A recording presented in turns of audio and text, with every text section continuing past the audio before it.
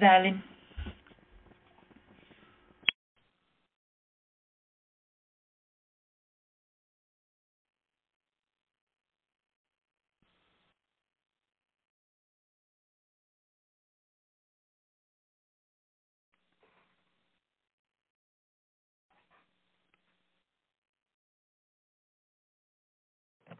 Hi, my name is Chris, and I am the moderator for tonight's telephone town hall.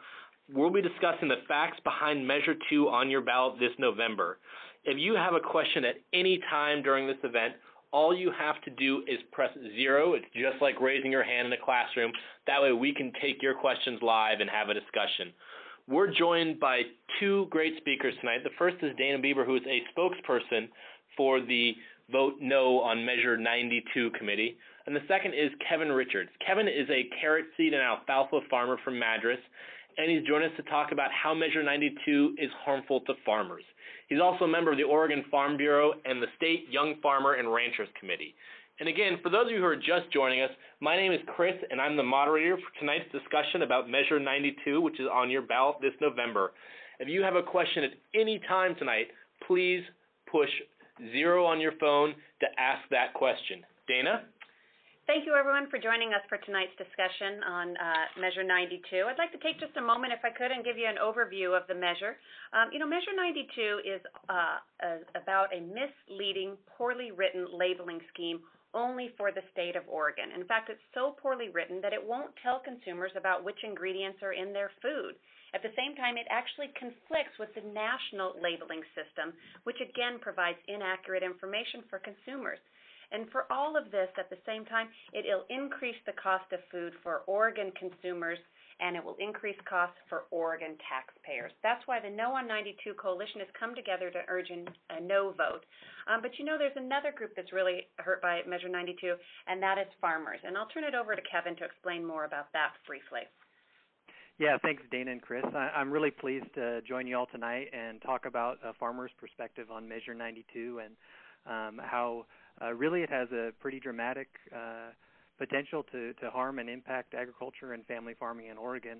Uh, first, by just changing production practices and, and adding uh, costly and unnecessary stewardship requirements for the way uh, farmers uh, go about their business in our state, and then adding, uh, you know, the risk of lawsuits uh, uh, to enforce the uh, to enforce Measure 92 and, and enforce the labeling requirements, and then uh, let's not forget that uh, Measure 92 is a labeling requirement that would apply only in Oregon, and that means that all the costs fall uh, just on Oregon farmers, making it harder uh, for us to compete uh, outside the state.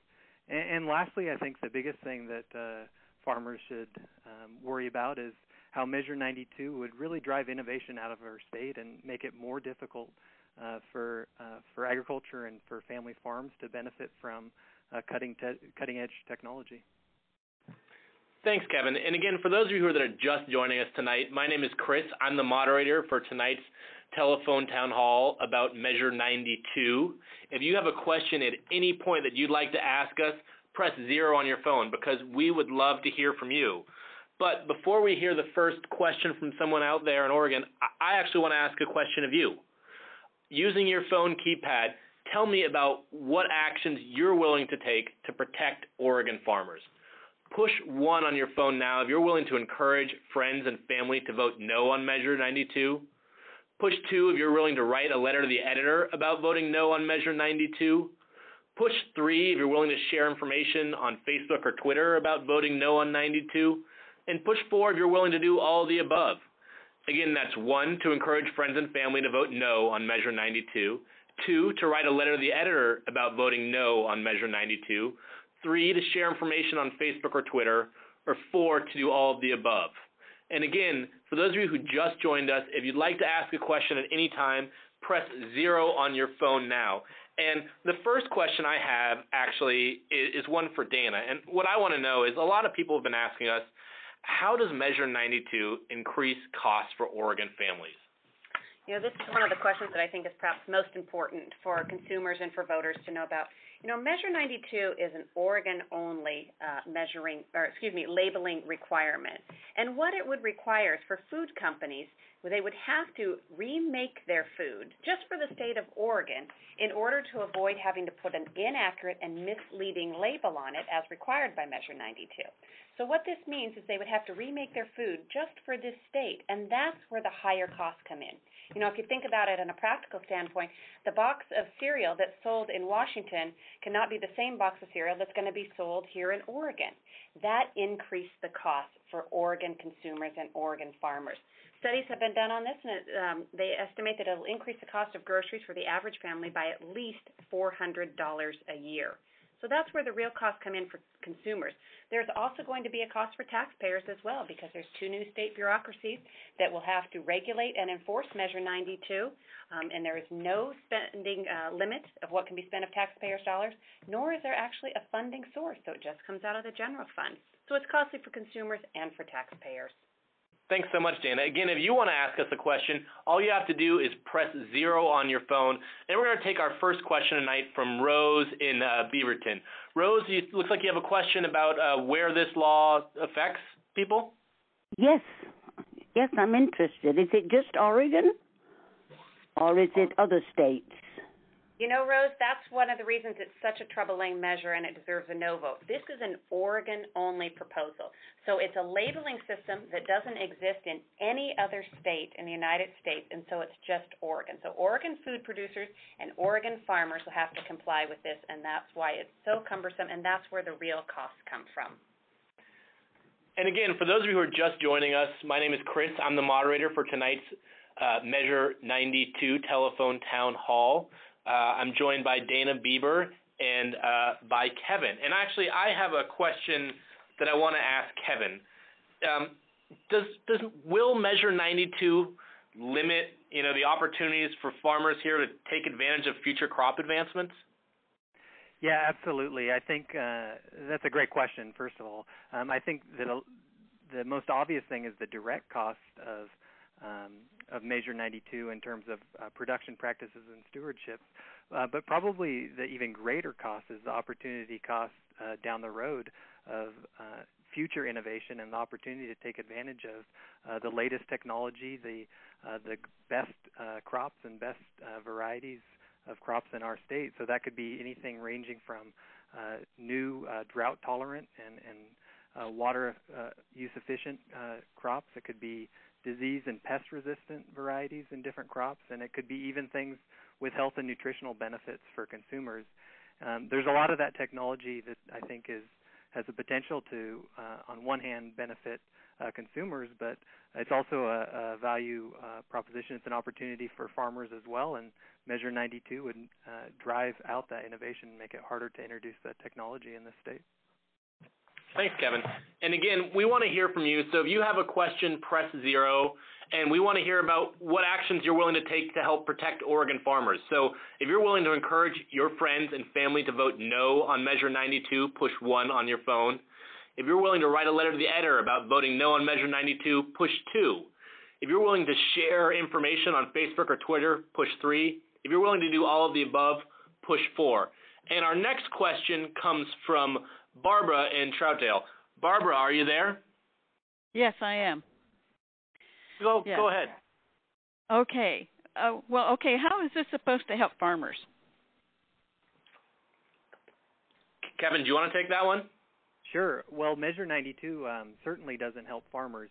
Um, Measure 92 is, is, will create really burdensome, uh, burdensome requirements that farmers will have to uh, follow uh, to um, segregate their crops, uh, be it uh, using different equipment, cleaning equipment, uh, using more uh, costly and labor-intensive uh, production practices, maybe taking certain land out of production or diverting to different crops by using buffer strips uh, to to ensure that you're able to meet the labeling requirement, um, and then uh, all of the uh, downstream effects in terms of lawsuits and uh, the difficulty uh, competing uh, with farmers outside of Oregon, and and like we already mentioned, the the uh, difficulty of uh, having access to the latest technology in agriculture in our state. So certainly, Measure 92 uh, isn't going to help farmers. It's going to hurt them in a in a huge number of ways, and that's why we're really urging uh, folks to vote no on 92.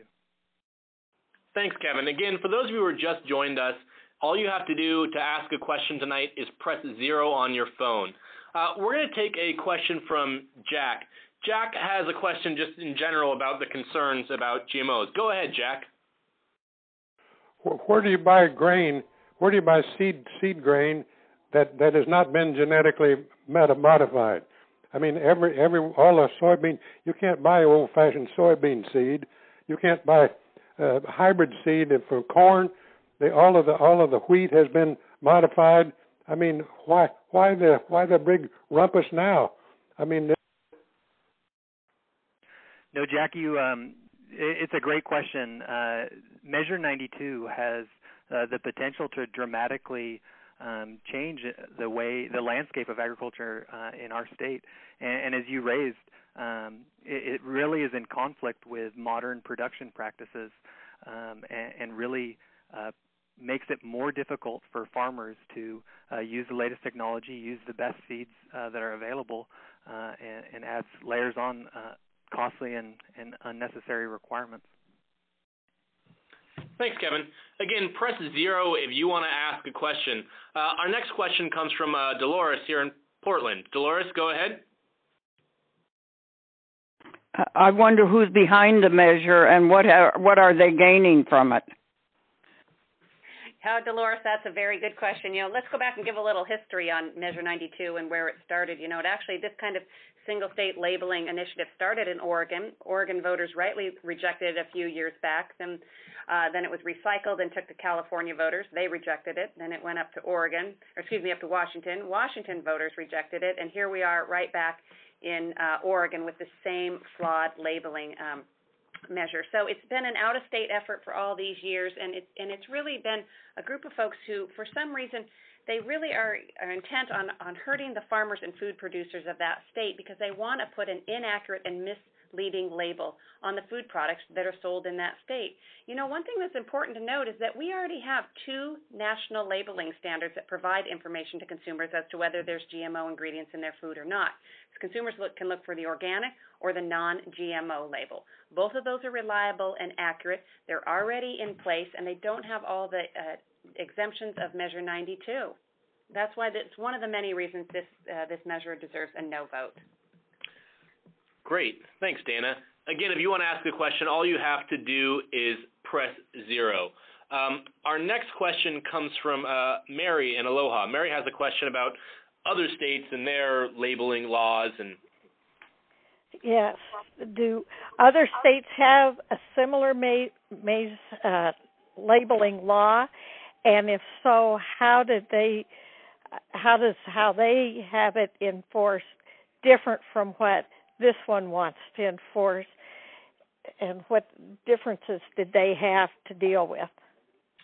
Mary, terrific question. Uh, you know, actually, there is only one other state, and that's the state of Vermont, which, as we all know, is not a farming state, unlike Oregon. Vermont is the only other state that has passed a, uh, a law that is uh, going into effect uh, in 2016. So, really, the, and you know what? Measure 92 conflicts with the Vermont law. So already there's only one state that has this law and one other state here, Oregon, that's taken a look at this. Those two measures already conflict. So you can see with this state by state approach where you could set up this patchwork quilt where we could conceivably have 50 different states with 50 different labeling standards. Now, how are farmers supposed to farm their product? How are food producers supposed to produce their product for uh, a multitude of states? It creates this patchwork system.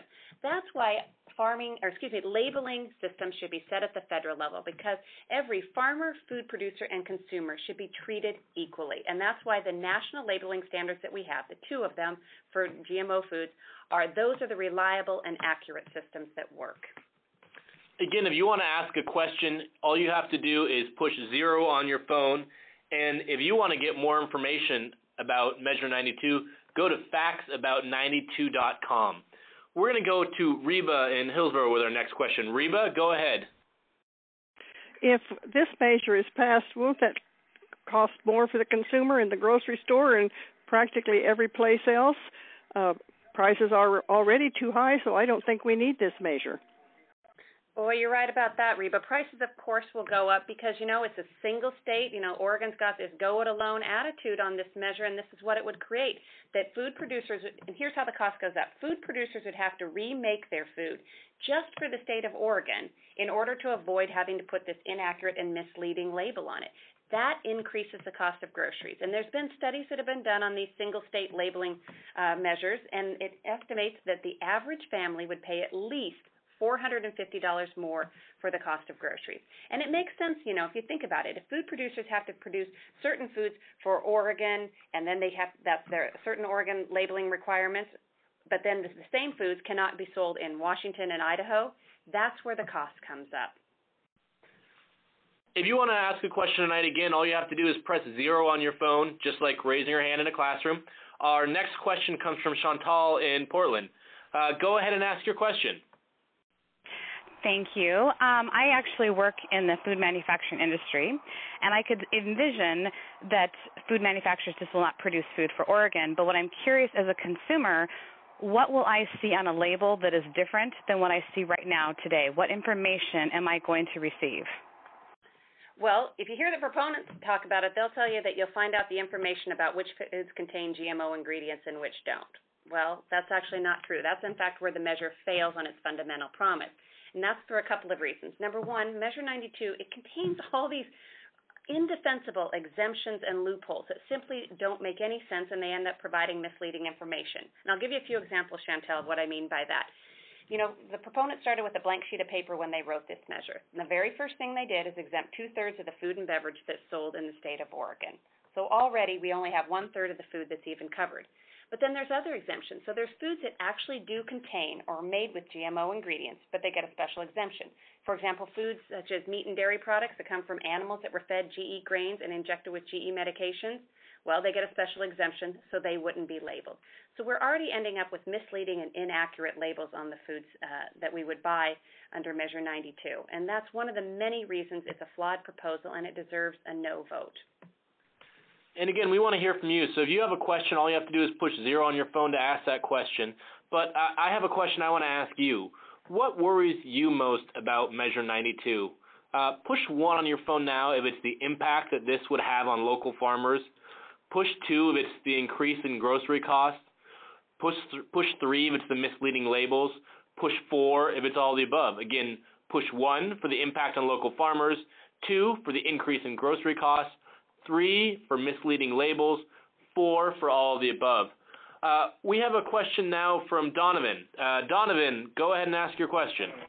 Hi, I was just curious as to who is making this measure again, because as I've heard from everybody, it's only going to negatively affect our community, so I don't understand why it's being brought up again.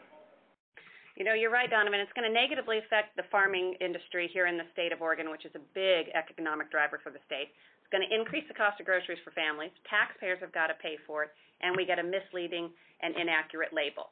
And you know, Donovan, you mentioned something about, you know, why are we doing this? You know, Oregon voters rejected this measure a few years back. It's really where it started in Oregon. Oregon voters said no. So a group of folks, uh, out of state folks, took the measure to California. California voters rejected it, then Washington voters rejected it, and now it's back in Oregon. It's the same flawed measure. It is poorly written and it's costly, and it deserves a no vote. Thanks. Our next question comes from Chuck in Eugene. Uh, Chuck had a question about something he saw on the TV. Go ahead, Chuck. Well, I just wanted to point out that uh, this evening on the evening news, uh, a very well dressed, smiling gentleman a proponent for Measure 92 uh, made the comment that caught my ear. He said it would not increase the cost for the farming community. Uh, would you care to respond to that? It sounds pretty patently false to me. Yeah, Chuck, I, I think it's uh, it, it's an outrageous claim. To be frank, it, it absolutely will increase cost to farming. Um, foremost, uh, just changing the the way we go about our business, the production practices that we follow in order to comply with Measure 92. Uh, if they're if you're growing uh, GMOs on your farm, uh, it'd be necessary to keep them entirely segregated. So that could require um, uh, purchasing a whole new fleet of equipment, or it could it require you know costly labor-intensive uh, practices during the busiest time of the, year, of the year when you're planning and harvesting to make sure that uh, you don't uh, unintentionally um, get any GMOs and non-GMO and, and so on. And it could even uh, require, depending on the crop, that you have uh, you know large uh, spatial segregation, so buffer strips uh, between different fields. Um, it could completely uh, change your crop rotation so that you are, are uh, choosing uh, what to plant uh, and where to plant it in a less efficient, uh, less profitable way. Um, so those are all direct costs, not even to mention the record keeping and, and the testing and the compliance that's necessary uh, to be um, to follow the labeling requirements. Um, and then, uh, as a farmer, I worry a lot about uh, regulation. I worry a lot about the risk of uh, lawsuit, and, and that's uh, a huge could have a huge impact uh, not just on me, but on uh, uh, downstream where I sell my product and uh, the marketability of my crops. So uh, I think that it's it's outrageous to think that Measure 92 wouldn't cost farmers, and I think that's the most important reason to uh, to vote no on 92.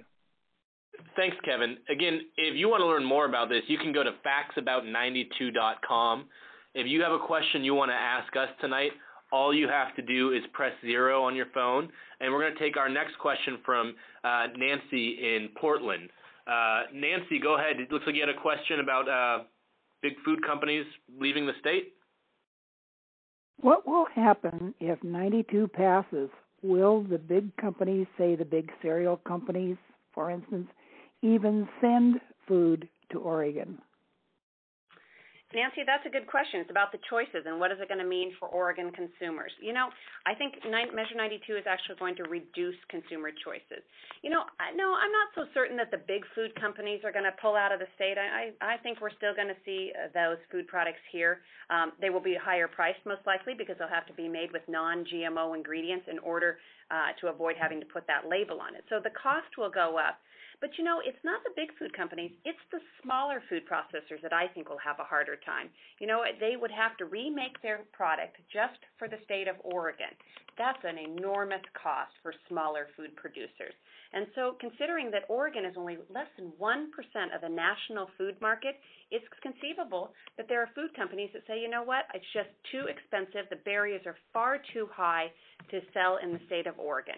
And that's where Oregon consumers would miss out on smaller food uh, production products, and that's where the cost goes up and the choice goes down. It's one of the reasons that Measure 92 fails consumers, and frankly, it just deserves a no vote. Yeah, Dana, I think that's a great point, and uh, you know, for farmers especially, it's uh, Oregon has a tradition of uh, being innovative and having small uh, niche uh, farmers that uh, seek out you know value-added markets for their products, and I think it's those small family farmers, um, uh, particularly those that are are trying to uh, retail direct to consumers who are going to be impacted uh, the most. They operate on small margins and uh, it's really going to make it hard for them to do business, and as a result, reduce a lot of choice for consumers in Oregon. Great. And our next question comes from Clark. Clark, go ahead and ask your question. Um, yes, my question is on what is the science on GMO, um, say USDA, excuse me, about how that impacts or whether it's good or bad? I'm curious on that. Hey, Clark, this is Dan. I'm happy to answer this question. I know Kevin will have a few comments as well. He, he knows all about this. Um, you know, the GMO foods, they have been on our uh, kitchen tables for over 20 years now. We've been eating these foods. Uh, they are the most tested food crop in the entire uh, food chain. And in fact, they've been studied by organizations like the American Medical Association, the Food and Drug Administration, uh, the World Health Organization. And in fact, there's been 1,700 studies, um, over 1,700 studies that have been done on GMO foods, and they all reach the same conclusion. Not only are the foods safe, of course, but they are identical to non-GMO foods. Yeah, Again, and, uh, Dana, before um, you know, before a product, you mentioned that it's the most heavily tested and, and regulated product in really food product in history. In in the U.S., before GMOs are even introduced uh, to be grown commercially, um, they have to go through a very rigorous uh, regulatory process and ha- have to be determined that they uh, pose no risk for for human or environmental safety. So uh, certainly the, the the science is there and and the the risk is uh, non-existent. And for farmers like me, it, uh, GMOs are uh, really helping us do what we do better: uh, grow more uh, crops more productively, more efficiently, uh, with fewer resources.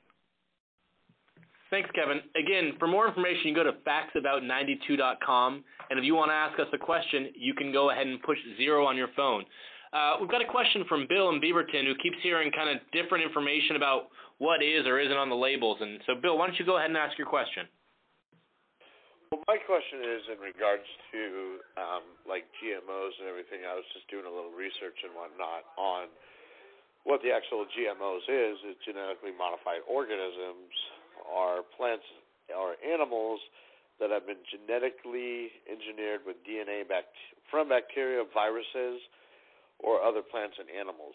But what I want to know is on the actual labels they say that it's. I keep hearing that it's false and that it's the information on there, excuse me, will be false and inaccurate. And how will that be false and inaccurate? You know, here's that's a good question. You know, here's how it's false and inaccurate: is the label. There are some products that actually contain no GMO ingredients in them. An example of that would be uh, products such as sugar or cornstarch or soybean oil. So these products, and they're of course in, in lots of different food products. These products, once they're processed, they actually don't contain any GMO ingredients in them at all. But yet they would have to have a label on them saying that they do. That's misleading and inaccurate.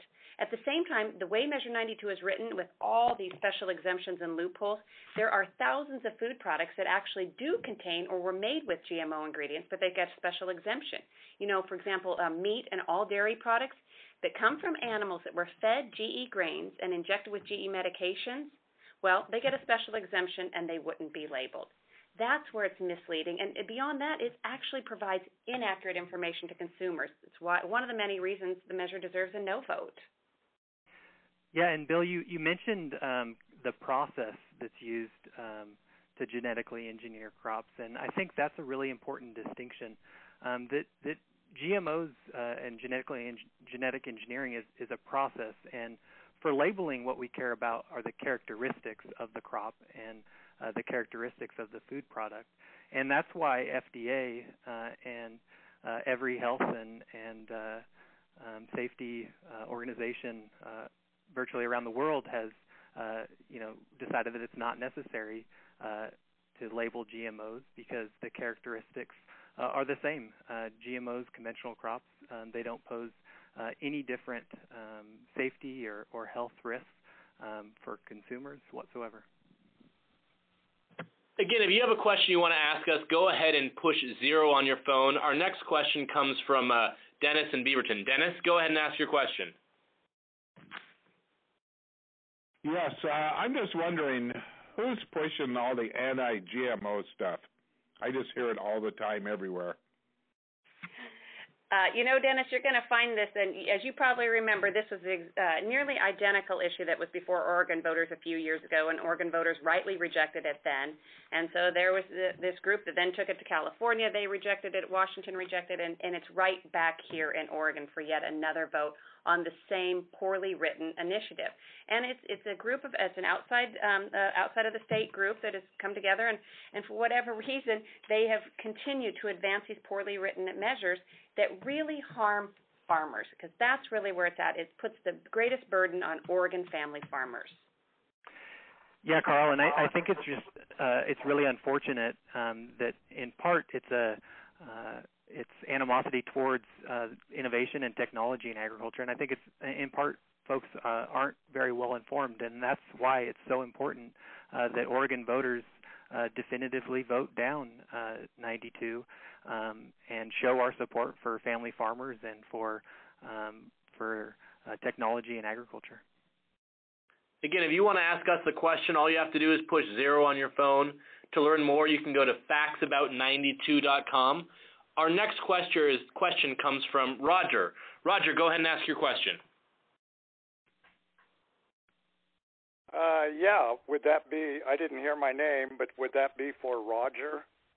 Yep, that's for you, Roger. Go right ahead.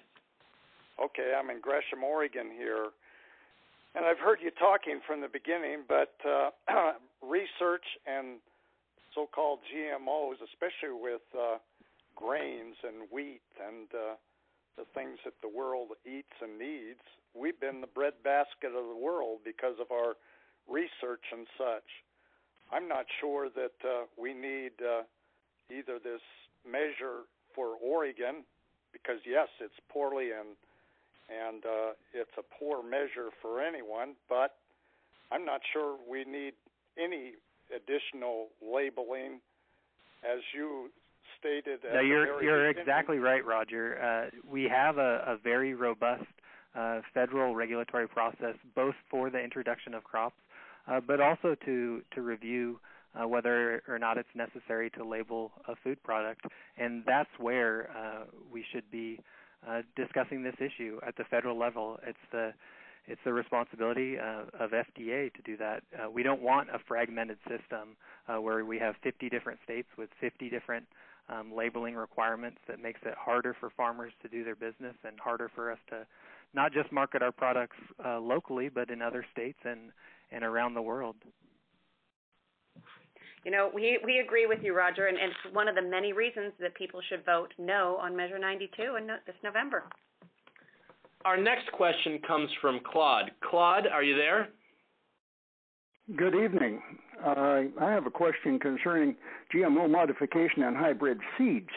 If uh, if GMO modification has been used to produce hybrid seeds and we have to go away from that, that would be that would be disastrous. Uh, I was born and raised on a farm back in Iowa, 1930s and 1940s, and I know that we were fortunate those years to get 35 bushel an acre on corn, and now they're getting 150 bushel an acre, and a lot of that is due to hybridization.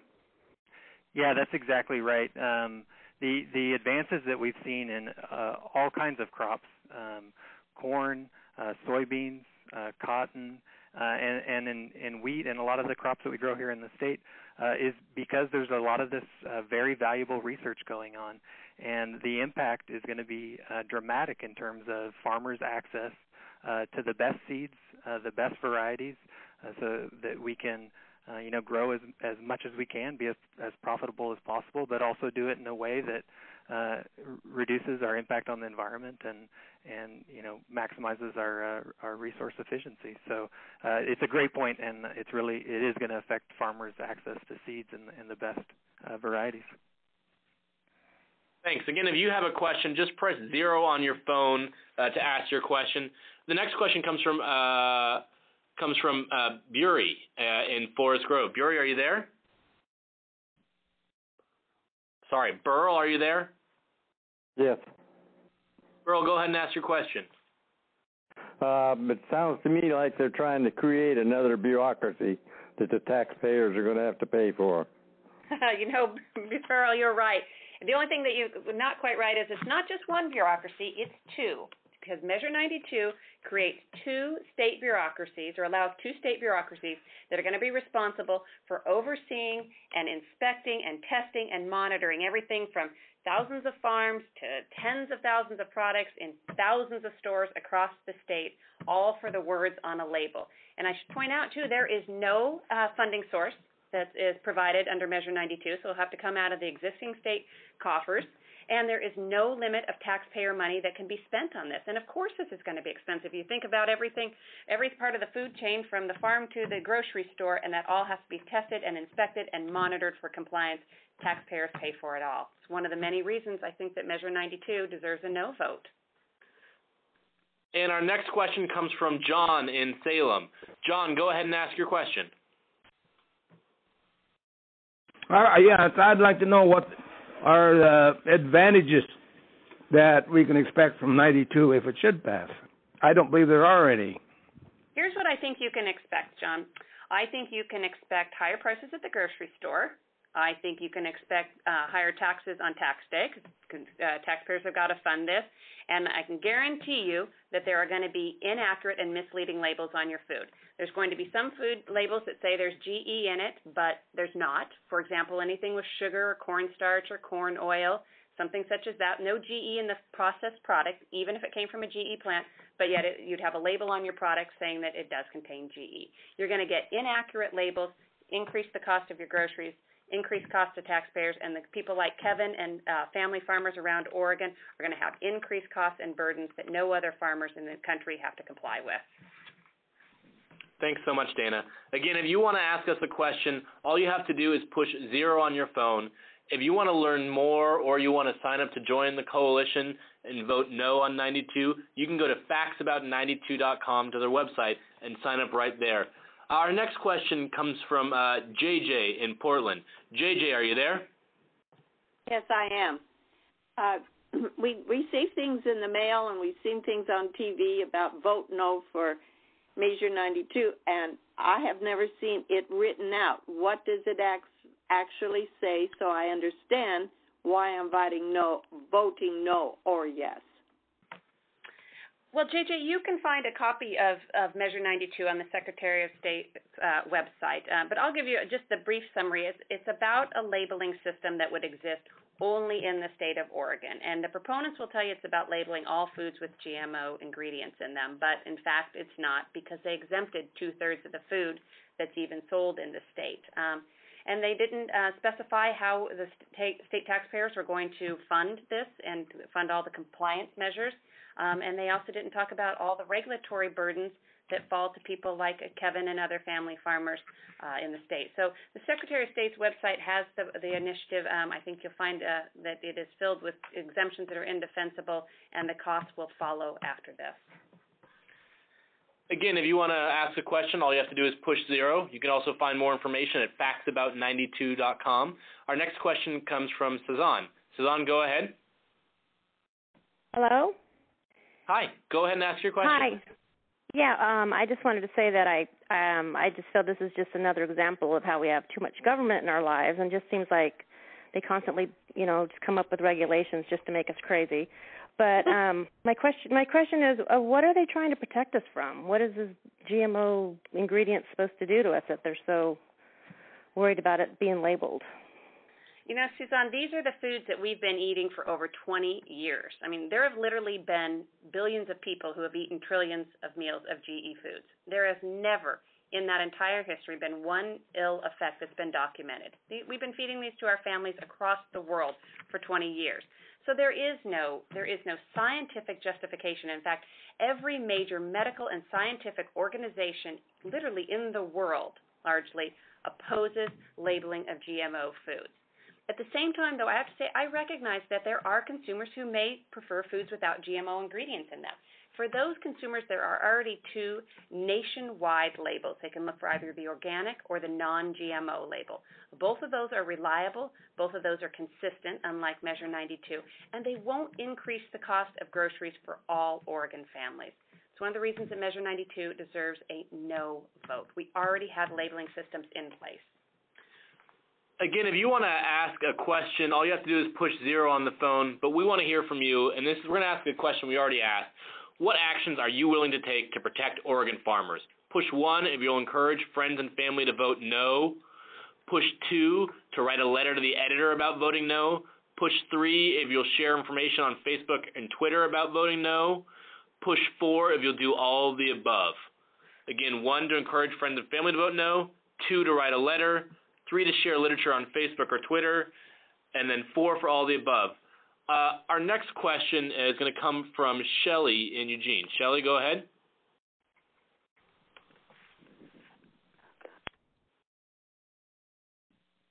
Shelly, are you there? No, looks like we lost Shelly. Um, but we're going to go to Gail next. Uh, Gail, go ahead and ask your question. Hello? Hi, Gail. Go ahead. Hey, hello. Hey, this sounds to me, uh, this whole debunkle, since we've already voted it down as well as uh, several other states. I'm from Portland, Oregon. And um, it sounds very political to me in that this is a bureaucracy thing going on. And I just want a straight answer about that. Is that who the proponents of this measure? Is that what this is all about? Is bigger taxes? More money from the people. Um, it, it it just seems to point to that from to me. You're right on it, Gail. That's exactly where, where we're headed with Measure 92. And you mentioned something. Yeah, this is the same out-of-state group who brought this to Oregon a few years back. Oregon voters rejected it then, so the same group. They took it to California. They rejected it. Washington rejected it, and it's like deja vu all over again. We're right back here in Oregon with the same flawed measure. And you, and you alluded to it, you know, when you talked about this is something that increases government bureaucracies because there's two bureaucracies that have got to write all the rules and enforce this and inspect farms like Kevin and other family farmers, and then every food product and every grocery store to make sure that the words on a label are where they should be and how they should be written. That's where it gets completely costly, and there's no funding mechanism for taxpayers. It simply makes no sense. It deserves a no vote. Yeah, thank you, Dana. That's very, very well put again, if you have a question you want to ask, push zero. Um, and to learn more, go to factsabout92.com. Um, Kevin, I think you wanted to say something here. Yeah, no, I, I, Chris, I just wanted to thank so thank you so much for hosting uh, this uh, town hall. I think a lot of the the callers really highlighted just how unnecessary uh, Measure 92 is on one hand, and then uh, those who have knowledge of agriculture know uh, what a burden we already have to deal with uh, regulatory oversight and different requirements on the farm.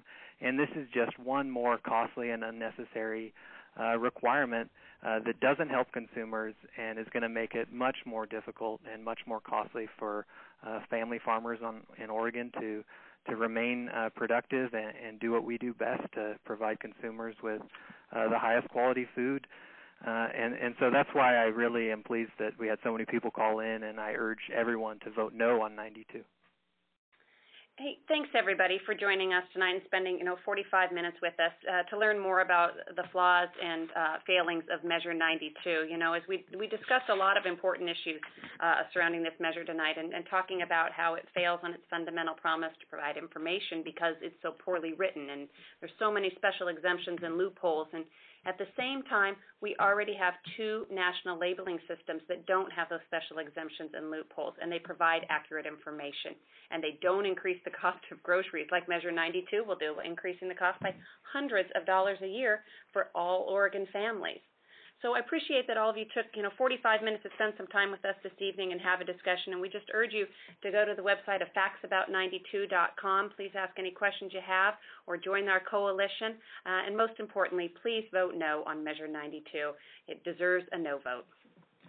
Thanks again, everyone, for joining us. If we were unable to get to your question, please go to factsabout92.com and you can enter your question there. Or we're going to put you into a voicemail right now so you can leave a closing comment. Hope you all have a great evening, and thanks again for your time.